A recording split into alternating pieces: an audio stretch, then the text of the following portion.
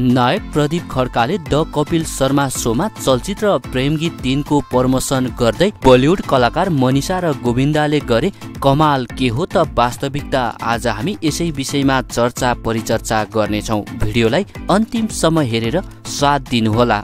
चर्चित बलिउड कलाकार मनिषा कोइराला र गोविन्दालाई लिएर नेपाली चलचित्र प्रेम गीत तिनलाई कपिल शर्मा सोमा लैजाने तयारी भएको छ। यसै साता प्रेम गीत तिनका निर्माता र कलाकारसँग मनिषाको मुम्बई स्थित निवासमा यसबारे छलफल भएको थियो।